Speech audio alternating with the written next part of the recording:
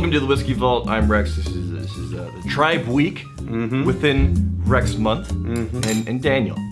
Again, it, it- within Tribe Week. Mm. This is for the people, for the community. We're choosing a distillery. Okay. And we're choosing multiple expressions, as many as we have in this room, from a particular distillery, and then comparing those back to back. And and to prove that this isn't just about me mooching.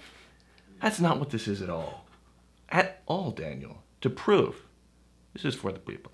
We're gonna do rye. Rye. We're okay. doing rye. This is All right. I suffer for the community. So We're doing really- rye. Rye's not my favorite in the world, but for people that like the rye, we're gonna do this for you. All right. There's really only one distillery that has a significant amount of rye, Okay.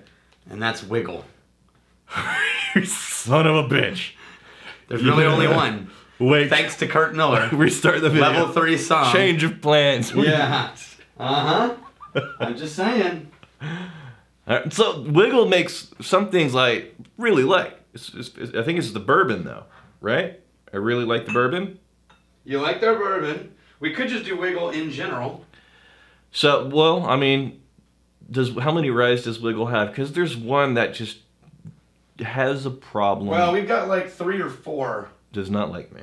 We got three or four. People who do rye don't do massive expressions of rye. You know why? That's the thing is, it's because they had the same opinion of rye as we do. No, American distilleries don't do the same thing that Scottish distilleries do. Okay. Scottish distilleries say we make, you know, uh, Laphroaig or Bunnahabhain. Right. Here's our nine different variations of all these. Really?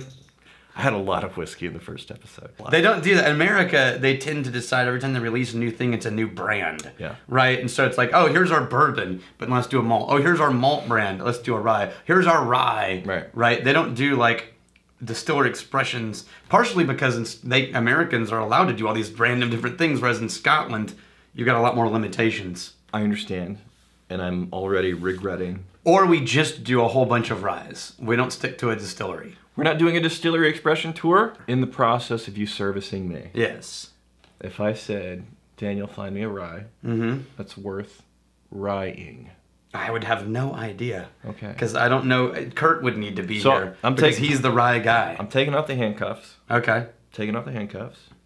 Most ryes, if I'm being nice, I'm saying I'm on the fence. Okay. Some ryes are really nice, but most of them is like, eh, it, they're going to be pretty far down on the list if I have options. Let's start with the Wigle rye. Okay. And this is just the classic Wait, Wigle wait, rye Wait, wait. Are you expression. are you participating? Now, then we're going to move to Hudson's Manhattan rye from New York. Yeah. And then we're going to try I think an intern. the one that everyone always freaks out about, which is Dad's Hat. I think Only it- we're going to go cask strength I think an intern dropped a gym sock in that one. in the still. Yeah, that's the Wigle. Okay, and then we're gonna go Man, Ranger Creek. For, this is what it is. no, actually, we're gonna do Michter's Rye. Well, it's just not for me, man. It's a funky adventure. No, that's the tin. I, I don't like the adventure. It is what immediately comes to mind is there's a, an old strip mall that's been around since like the 1980s, and it's run down and it hardly has any business. Half the places aren't even they don't even have a business. It's just vacant. And behind the strip mall is a is a puddle because the park the parking lot's all worn out. It's got like potholes in it. There's this pothole that's been collecting rainwater and runoff from the from the yard. right, and the yard's just all patchy and dirty and it's got weeds Let's in hope there. Wigle doesn't watch this video. And then if I were just to start drinking out of that pothole, that would be the Wigle rye for me. I just this is the the second or third time I've tried it. I don't like it, man. It you know the the the, the word that comes to mind for me, it is aggressively stale. Yep. Aggressively stale. So this is from Tuthilltown. This is Hudson Manhattan Rye whiskey. This Some- is Ralph's whiskey. Some people may adore that, but it's gonna be. I think it's one of these whiskeys that you're gonna love or hate. There's not a lot of people mm-hmm. who are like, yeah, it's okay, I guess. Like, no, you're gonna have a strong opinion about that rack. So this is Ralph from Tuthill Tuthilltown Spirits. Oh, that's nice. Yeah. Yeah. And let's compare it to another one that Kurt loves to rave about, which is Dad's Hat. We mm. are going to go cask strength, which means immediately it's going to be jumping up a little bit. Oh. I'm just trying to help you out, Rex. Yeah. you, this reminds. So this is. I think what's happening is you ever see a Superman comic where there is this parasite that just was sucking off all of Superman's powers. Yeah. And then finally Superman goes, "You want my power? Take all of the power." And Yeah. then, like this parasite explodes. I feel like you're throwing all the power at me, trying to get me, I'm just trying to service you, somm. trying to get don't me to buckle. what- I don't know what's going on. to cry uncle. You I don't start know what pouring you're me talking about. cask strength. How many samplings have I had at this point? Uh, probably 14. Fourteen. Someone's gonna need to go home immediately after shooting. That is a cask. Yeah. Super spicy. Mm-hmm. That rye spice, and then I get a lot more barrel out of this than I typically get from rye. Though. Whoa, that's some weird candy caney kind of sweetness. I don't often find prominent barrel notes in rye, and maybe at cask strength, Here. maybe the barrel note is one of the first notes to get proof down All right, try that once again. you start dropping it. You made this like ninety percent water now. No, I put half and half, which would take that from take it down to about 30, It's not even whiskey. 35. It's not even whiskey. Yeah, but it'll give you a chance at actually seeing what's behind all of that proof. It's water. You overdid it. And again, the barrel note's still there. The barrel note. Oh, that's still whiskey, and it does still have the barrel note. the barrel note lives strong. Yeah, it's uh, which one was it? That was the Dad's Hat cask strength. Right. I remember liking Dad's hat. I think I like just the regular version more than the cask strength. Okay, now we're gonna do the other one everybody likes to tell me about, Because which is Sagamore. cask strength is already it's an aggressive thing. Mhm. Right. Now rye, since it so commonly regularly has this spiciness, Right. to have an aggressive proof with that spiciness it's like ah it's it's kind of a bit much. Yeah, I agree. Yeah. Now this is Sagamore. You're just trying to get through the you're just trying to get through the videos. It's like just drink the whiskey so I can get finished. No, no, no, no. See, here's the thing. I'm a good somm Yeah. listens more than they talk. Okay. So the people are learning from me and my knowledge. Well, but no, because Is that you what's that? need- What, am I am I the one giving knowledge to the people? because when you are servicing someone at a bar or a restaurant, Yeah. getting them to talk about what they like and what they've found Right. gives you clues into what direction you can head next. Yeah. And the more you preach at them, the more you get in the way of them finding what they like. Okay. Your own knowledge, what you prefer, why you like it. It's universal. It's not global knowledge. It's it's it's truth, really. All right, try your Sagamore. Yeah. This is Maryland. You digging that, That one?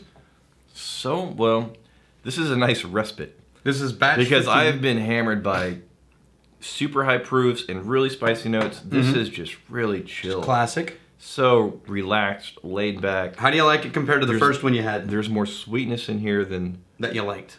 so. Manhattan versus Manhattan Rye. Not the Wigle. No, the Manhattan, which you were like, oh, that's nice. Well, yeah, compared to the Compared to the Manhattan, which is right over there. So better than Manhattan. uh, if I'm in the mood to relax, Mhm. this is going to be a background rye for me. Okay. If I'm not going, So hold on to the one you want to keep as a final comparison. So is this the one or is that the one? you know what? I just need to. After so many whiskeys, maybe at a different different moment, I'm going to choose something else. I just need to go to Sagamore. Okay. Sagamore rye. So we're gonna go with our final rye being one of the most unique ryes I've ever tried in a category of ryes. So this is what you've chosen for for me based on what? I want to see what happens when you get a full left curve rye. Okay. That's not atypical of all rye flavors. I don't know what that means. But it's still a rye whiskey. It means this does not fit into the rye category as like if you love rye, you're gonna love it. Right. It is a unicorn of ryes. It's just its own weird freaky thing. Oh man, the the rich, just the the is that vanilla and a rye that's like And molasses. caramel and yeah, the molasses and Yeah. I'm getting some was it toffee? Yeah. This isn't a rye. I know. Shut your face. Exactly. This isn't a rye. This is a rye whiskey. oh, it's dark too. Look Mhm. at that. And it's cask strength, oh, all right. Well, which puts it at 62%. I mean, it's not super surprising because the nose coming out of this is, Rye is is jumping out. yeah, Yeah. leaping out of the glass. That is one of the most complex ryes Yeah. I think I've ever had. Yeah. and it changes up moment by moment. Yep. At a certain point, I was like three quarters of the way through, a really just strong vanilla mm-hmm. in a rye. Yep. Isn't that weird? And now I got the cask strength burn right here. yeah. Ooh. You want to try the non-cask strength version of that? There's a lot of oakiness in there too.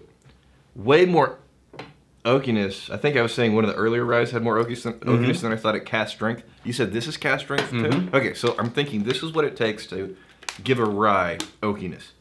You keep it at cask strength. Just let it own itself. Because my theory is Well, you want to try the same? when you start proofing down a cask strength rye, the wood note is one that's going to get diminished first. Why Even don't you though try the same one, not at cask strength. Same one Okay, okay. from their release, not at cask strength. Then I'll let her, you know what you're drinking. Well, I just saw right now. You're Yeah. pouring me Balcones. Yeah. Okay. It's the Balcones rye. All right, and this is the non-cask strength. Yeah. Hmm.